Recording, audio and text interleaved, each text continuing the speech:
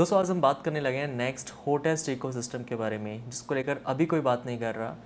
जिस प्रकार से हमने last four two five months के अंदर, पहले बिटकॉइन स्टैक्स या फिर मैं B R C twenty ecosystem की बात करता हूँ, इनके अंदर ट्वेंटी से फिफ्टी एक्स की ग्रोथ देखी।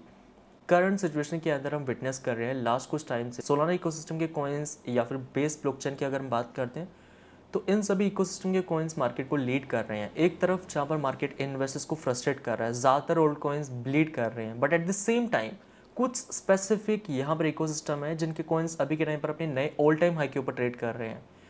उसी प्रकार से आज यहाँ पर हम जिस इकोसिस्टम के बारे में बात करने लगे हैं दैट इज़ टोन टोन ये वो कोइन है जो कि टेलीग्राम ने यहाँ पर इंट्रोड्यूस किया था 2018-19 के अंदर।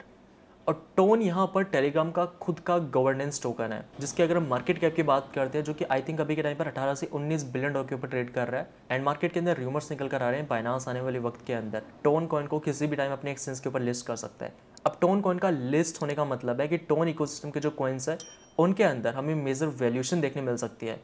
सो so, यहाँ पर मैं आपको ये नहीं कहता कि आप टोन कॉइन में इन्वेस्ट करें बिकॉज़ ये ऑलरेडी एक लार्ज कैप ओल्ड कॉइन है। लेकिन टोन इकोसिस्टम के इस वीडियो के अंदर हम थ्री प्रोजेक्ट्स को लेकर डिस्कस करने लगे हैं। जिस भी टाइम पर बाइनास टोन कॉइन को अपने एक्सचेंज पर लिस्ट करता है, उस टाइम के अंदर, इन तीन कॉइन्स के अंदर, हम मार्केट के अंदर मेजर वैल्यूशन को कैप्चर कर सकते हैं। एंड मेक श्योर जिन प्रोजेक्ट्स को लेकर इस वीडियो में हम डिस्कस करने लगे हैं, ये अभी अपने अर्ली फ़ेज़ के अंदर है। जितने भी कॉइन्स को लेकर हम बात करेंगे, इनमें से low cap coin micro cap coins होंगे तो इनके अंदर अभी के टाइम पर फ्लक्चुएशन ज़्यादा है। लेकिन अगर हम किसी इकोसिस्टम को अर्ली फ़ेज़ में यहाँ पर अंडरस्टैंड कर जाते हैं तो यहाँ पर हम मार्केट के पहले उस इकोसिस्टम को यहाँ पर ज्वाइन कर सकते हैं राइट सो डायरेक्टली चलते हैं स्किन के ऊपर।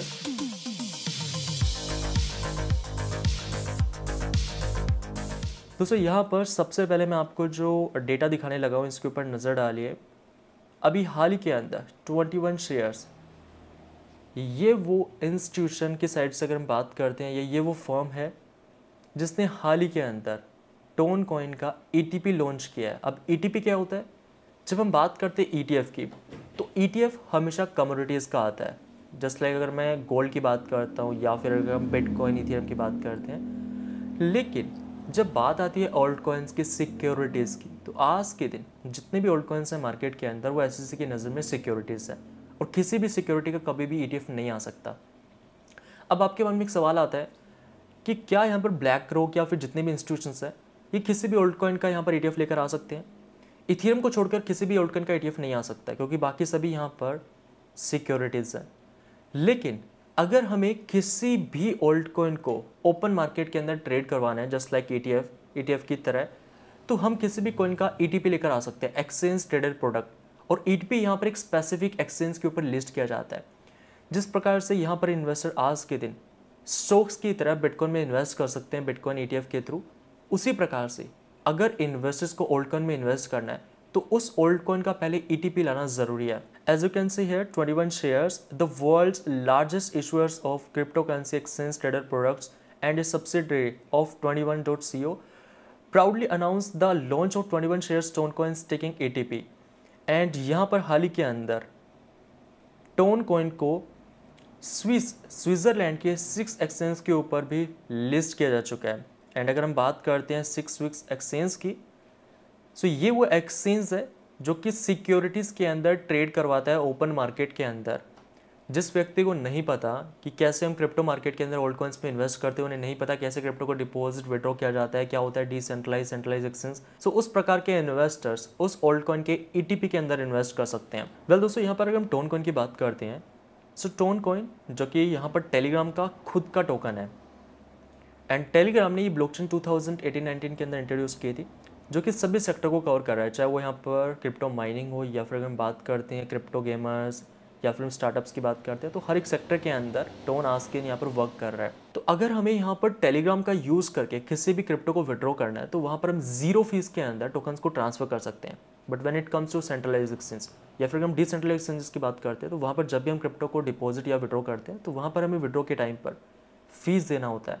लेकिन अगर हम टोन यानी टेलीग्राम के थ्रू क्रिप्टो को ट्रांसफ़र करते हैं तो वहाँ पर हमें फ़ीस देना नहीं पड़ता।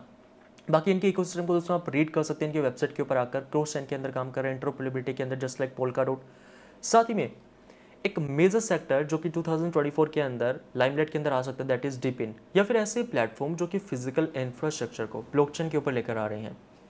टोन यहाँ पर खुद का स्टोरेज प्लेटफॉर्म भी जल्दी लॉन्च करने लगा है। साथ ही में टोन इकोसिस्टम के बारे में जानना इसलिए भी इम्पोर्टेंट बन जाता है क्योंकि लास्ट वन ईयर के अंदर।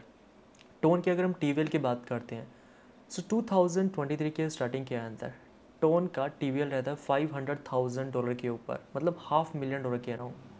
अगर हम करंट टाइम के अंदर देखते हैं तो टोन का टी वी एल अपने ऑल टाइम हाई के ऊपर है। एक साल के अंदर हमें टू हंड्रेड एक्स की ग्रोथ देखने मिली है टोन के नेटवर्क के अंदर टीवीएल के अंदर।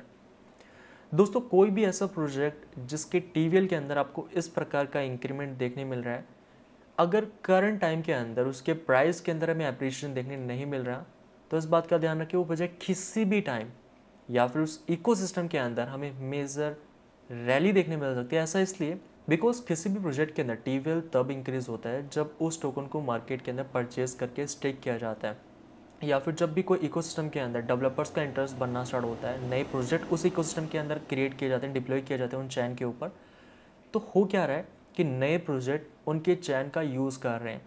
और जब भी कोई न्यू टोकन नया प्रोजेक्ट किसी चैन के ऊपर डिप्लॉय किया जाता है तो वहाँ पर हमें उस नेटवर्क के गवर्नेंस कोइन की ज़रूरत रहती है।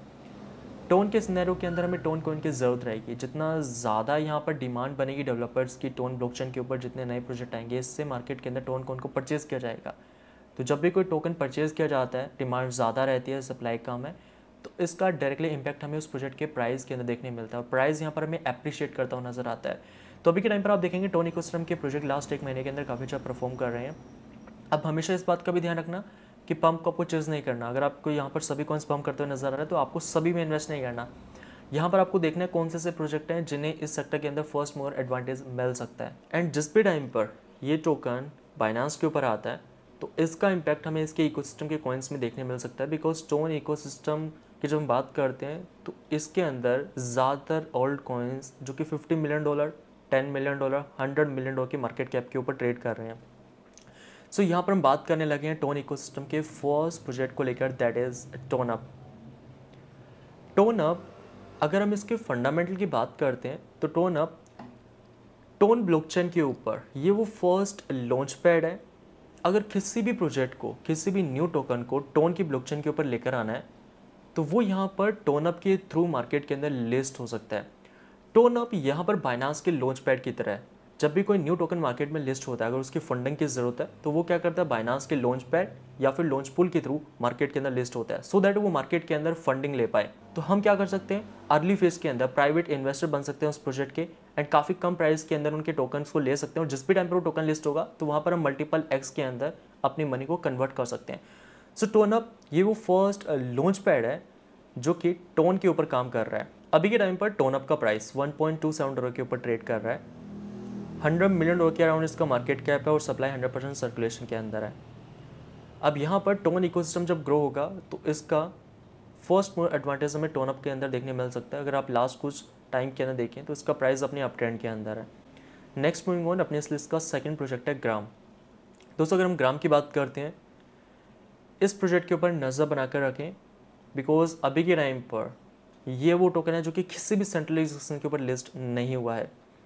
अगर हम इसके फंडामेंटल साइड से देखते हैं सो so यहाँ पर ग्राम, ये वो first ever P O W jetton blockchain है, जो कि टोन के ऊपर डिप्लॉय की गई है। दोस्तों, ये प्रूफ ऑफ़ वर्क के ऊपर काम कर रहा है। सो so यहाँ पर हर एक व्यक्ति इनके टोकन को भी माइन कर सकते हैं, अगर आप इंटरेस्टेड है ग्राम टोकन को माइन करने के लिए। तो इनकी वेबसाइट के ऊपर अगर आप चेकआउट कर सकते हैं, कैसे हम ग्राम टोकन को अपनी पीसी की हेल्प से माइन कर सकते हैं। अब कोई भी प्रोजेक्ट जब अपनी अर्ली फ़ेज़ में रहता है तो वहाँ पर उनके टोकन्स को माइन करना सबसे आसान रहता है। क्योंकि उस टाइम पर हैश रेट काफ़ी कम रहता है। अगर ये प्रोजेक्ट लाइमलाइट के अंदर आ जाता है तो इसके अंदर हैश रेट हमें इंक्रीज होती नज़र आएगी नेटवर्क के अंदर कॉम्पिटिशन बढ़ता हुआ नज़र आ सकता है। सो दैट उस टाइम पर टोकन्स को माइंड करना इतना ईजी नहीं रहेगा। सो अगर आप इंटरेस्टेड है तो आप चेकआउट कर सकते हैं।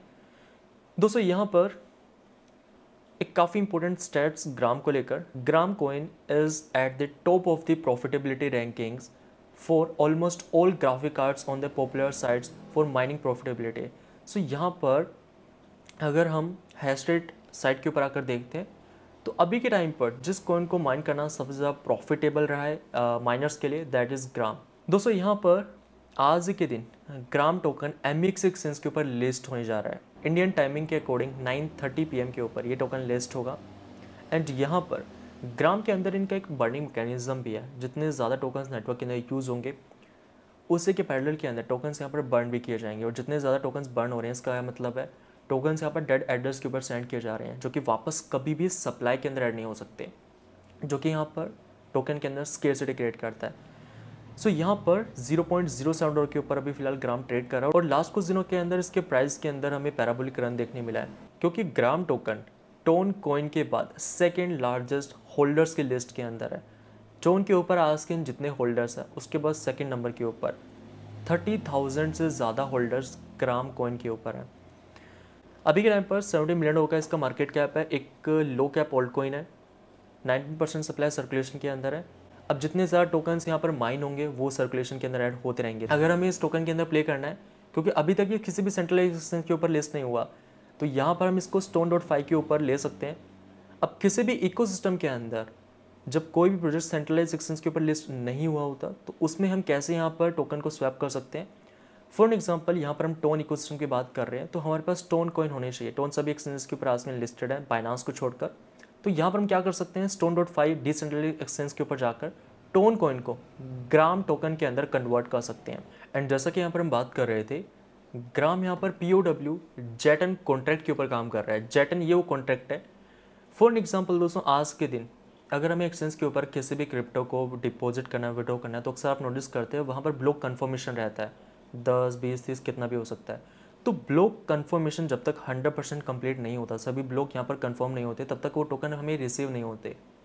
लेकिन जब हम बात करते हैं जेटन कॉन्ट्रैक्ट की तो ये वो न्यू मैकेनिज़्म है जहाँ पर अगर हमें टोकन एक वॉलेट से दूसरे वॉलेट के ऊपर सेंड करने हैं तो अगर हमें एक कन्फर्मेशन भी मिल जाता है तो हमें वो टोकन रिसीव हो जाएँगे जिनको हम ट्रेड कर सकते हैं। लेकिन बाकी सभी ट्रेडिशनल चेंस के ऊपर क्या होता है कि हमें हंड्रेड परसेंट जब तक ब्लॉक कन्फर्मेशन नहीं होता, तब तक वेट करना होता है।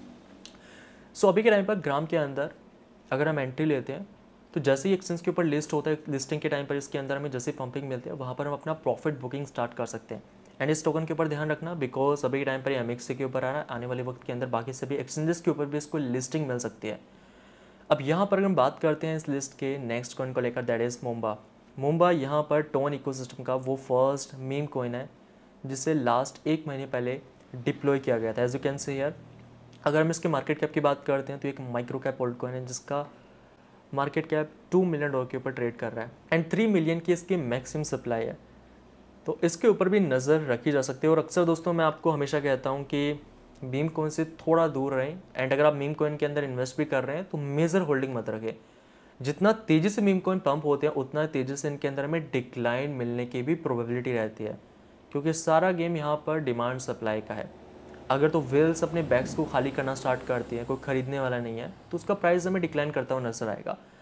सो so, यहाँ पर लास्ट एक दो महीने के अंदर हमने क्या देखा? सोलाना इकोसिस्टम या फिर मैं बेस इकोसिस्टम की बात करता हूँ इनके मीम कोइंस काफ़ी अच्छा परफॉर्म कर रहे हैं। सो so, मुंबा के ऊपर आप नज़र रख सकते हैं क्योंकि टोन ब्लॉकचेन के ऊपर उन्हीं कोइंस को फ़र्स्ट मोर एडवांटेज मिलेगा जो कि उनकी चैन के ऊपर सबसे पहले क्रिएट की गई हैं।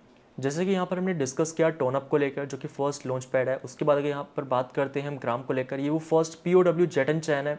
साथ ही में अगर हम बात करते हैं मुंबा की तो ये फ़र्स्ट मीम कोइन है। तो इन सभी प्रोजेक्ट्स के ऊपर आप नज़र रख सकते हैं बट अगेन फिर से मैं यहाँ पर आपको कहना चाहूँगा, इनके अंदर, अभी हम अर्ली फ़ेज़ के अंदर है, ये प्रोजेक्ट अभी लाइमलाइट के अंदर नहीं आया तो इनके अंदर रिस्क भी ज़्यादा रहेगा। बाकी चलेगा इस रखते हैं आज के लिए इतना ही, और अगर आपको इस वीडियो से ज़्यादा से भी इन्फॉर्मेशन मिली लाइक का बटन दबाना मत भूलेगा मैं मिलता हूँ फिर आपसे नेक्स्ट वीडियो में, तब तक के लिए जय हिंद, वंदे मातरम।